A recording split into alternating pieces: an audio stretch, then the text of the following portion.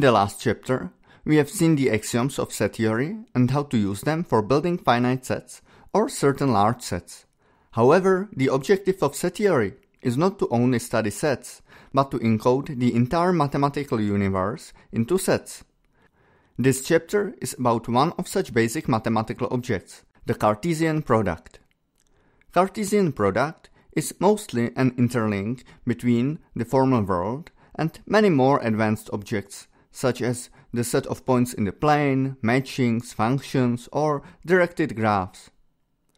My original intention was to show both parts in one video, the chapter 10, but this chapter grew bigger over time, and I also have to admit that both parts are about relatively independent topics.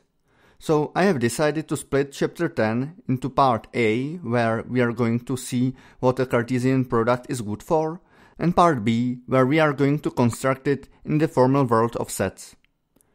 I have to admit that a bit weird numbering of the chapters is partly because of my laziness, as I didn't want to change the chapter numbers in videos I have prepared before. But another reason is that the order of the two parts of chapter 10 is not entirely clear. It was a bit of a dilemma to choose the order of the two parts. I have decided to start with applications that I consider more interesting, but you will have to just imagine that the Cartesian product is something already living in the formal world of sets and wait for the justification for the next video. Alternatively, you can pause this video now, watch part B first to learn where the Cartesian product comes from, and after that go back to see what such a thing is good for. Here, let's start with the definition. Take two sets, a and b. Cartesian product A times B is the set of all the possible ordered pairs where the first element comes from set A and the second one comes from set B. An ordered pair is denoted by parentheses and the Cartesian product A times B is written with a cross, not with a dot. For clarity, we can arrange set A into a row, set B into a column, and the elements of A times B into a table, columns of which correspond to the elements of A, and rows correspond to the elements of B. First, it is quite clear why the Cartesian product is called a product. It indeed multiplies the sizes of sets A and B. That is one of the first definitions of multiplication one encounters in elementary school. Given a fixed number of elements in a row and the number of rows, the number of all the elements is the product of the two numbers. And second, there is a clear connection to the Cartesian coordinates of points in the plane. When we take the product of the set of real numbers with another set of real numbers, we obtain the entire plane in our visualization. Any point in this plane is a pair of two real numbers which determine its x and y coordinates. Such an assignment of points in the plane to pairs of real numbers is called the Cartesian coordinate system and we are showing it here as one example usage of the Cartesian product. It is actually also the historical reason why we call the Cartesian product Cartesian. However, the Cartesian product itself plays a much more important role than just the basis for geometry. We have started this series about set theory by taking two sets and comparing their sizes by matching their elements. If there is a matching between two sets, the two sets are of the same cardinality. But in the world of sets, there are only sets so far. The word matching hasn't been invented yet. To talk about matchings in the formal world of sets, we need to define which set such a matching corresponds to. Formally, a matching is the set of connections between sets A and B. What is a connection? An ordered pair. So matching is a subset of the Cartesian product A times B. Of course, not any subset of the Cartesian product is a matching. It is defined as such a subset of the Cartesian product such that every element of set A is at exactly one left position and every element of set B is at exactly one right position. That is the entire formal definition of a matching. However, maybe surprisingly, the word matching is rather an unusual terminology for set theory. Instead of it, people typically use the word bijective function, which has the very same formal meaning. Why? A standard function is something that gets a real number x, it processes it with some formula, let's say 2 minus x squared halves, and spits out the result, fx.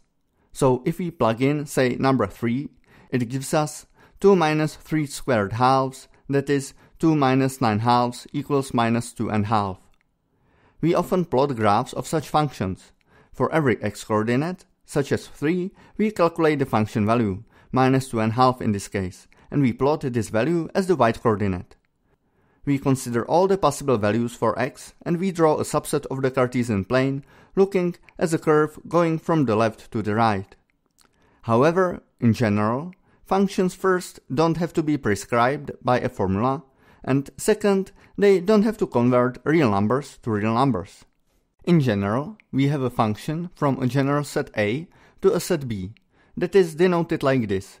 We can imagine the function as a black box which, given an element of A, somehow determines an element of B. We can plot the graph even for such a function. We construct the Cartesian product A times B, and for any x-coordinate, we find the appropriate function value. This yields to a subset of the Cartesian product, such that every column contains exactly one element. So far, I was pretending that the graph of the function, that is a subset of the Cartesian plane, and the function itself, some magic black box transforming a's to b's, are two different things. However, from the perspective of formal set theory, these two are the same. Not only the function is uniquely determined by its graph, a function is the same thing as its graph. The only difference is how we view it. So we could say that every function as a magic box uses the same concrete process. It gets an element of A, looks at the appropriate column, and outputs the appropriate element of B. So a function is formally defined as a subset of the Cartesian product, such that every column contains exactly one element. That is, every element of set A is at exactly one left position. This is a very similar condition which we have seen for a matching before, only with the difference that the matching requires the same to be true also for set B. Anyway, a matching is just a special case of a function. It is such a function which outputs every element of B exactly once.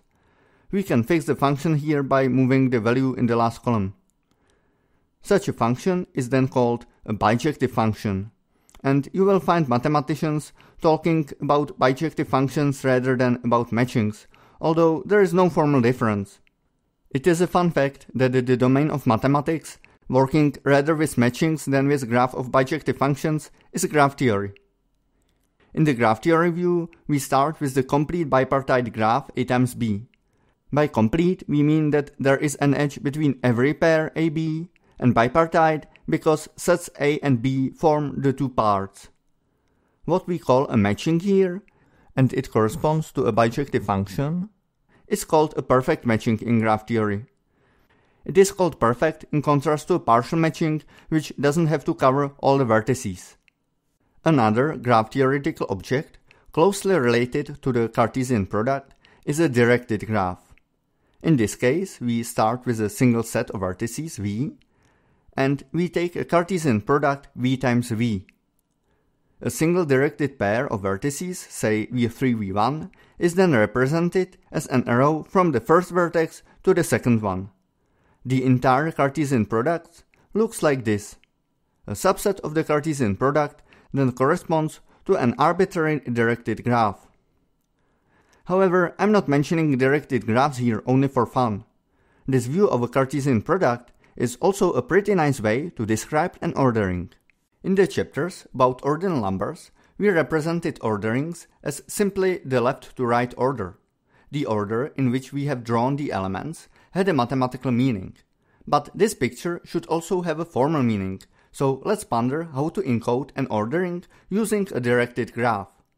For a finite set, we could simply describe the ordering by a sequence of arrows from the first element to the last one. But with an infinite set, such an approach gets into problems. What arrows should we draw between the points in the real interval from 0 to 1 to distinguish it from all the other orderings of this interval? We cannot just put edges between an element and its neighbors, because there are no immediate neighbors of the element. For any point, we find another closer point. However, it doesn't matter too much if we are not trying to be thrifty. When a point doesn't have to have an immediate descendant, let's just draw an arrow to all the points on the right. Similarly, we also draw the arrows from all the points on the left. And of course, there will be also other arrows between other points, they just don't fit into this picture. And once we have a working approach in the infinite case, there is no reason to do it differently in the finite case. So even in the example of 4 elements, there will be more arrows in the end. In general, we obtain a directed graph such that there is an arrow in one direction between every pair of points, and on the other hand, there are no directed cycles in it. And that is the formal definition of an order.